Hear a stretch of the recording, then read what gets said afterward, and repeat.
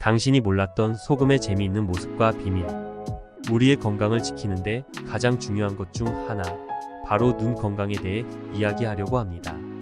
여러분이라면 누구나 겪을 수 있는 노안, 백내장, 녹내장. 오늘은 이들에 대해 알아보고 눈 건강을 유지하는 방법에 대해 이야기해 보려 합니다.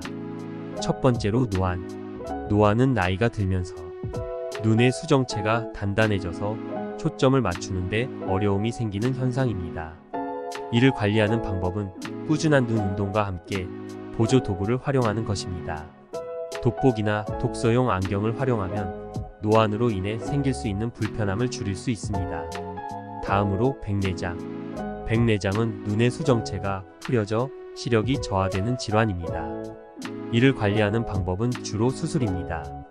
백내장 수술은 대부분 안전하게 진행되며 수술 후 안과 약을 꾸준히 사용하면 눈 건강을 유지할 수 있습니다. 마지막으로 녹내장. 녹내장은 눈압이 상승해 시신경이 손상되는 질환인데요. 이를 관리하는 방법은 약물 치료나 수술입니다. 또한 일정한 간격으로 눈압을 측정하고 눈 건강에 좋은 식습관을 유지하는 것이 중요합니다. 우리의 눈 건강을 위해서는 무엇보다 꾸준한 관리가 중요합니다. 정기적인 안과 검진은 물론 눈 건강에 좋은 식습관과 생활 습관을 유지하는 것이 중요합니다. 또한 야간 운전이나 밝은 빛을 피하고 충분한 휴식을 취하는 것도 눈 건강에 큰 도움이 될 것입니다. 눈 건강은 우리의 생활 질을 결정짓습니다. 오늘의 이야기가 여러분의 눈 건강에 도움이 되었길 바라며 다음 시간에는 더 유익한 정보로 찾아뵙겠습니다.